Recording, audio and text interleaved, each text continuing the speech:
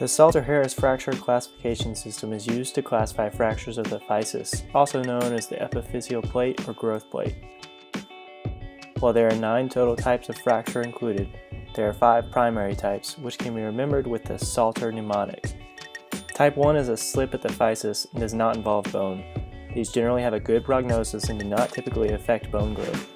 Type 2, remembered as above in the mnemonic, is a fracture through part of the growth plate and into the metaphysis, which is the section just above the physis.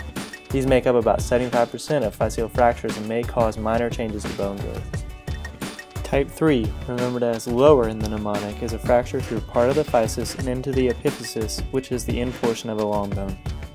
This type usually occurs in partially fused physes and have more serious effects on bone growth. Type 4 is remembered as through or transverse and affects the metaphysis, physis, and epiphysis. This type may lead to bony deformity. Type 5 is remembered as rammed in the mnemonic. It is very uncommon and involves the physis being crushed by compressive forces. Type 5s tend to have poor prognoses.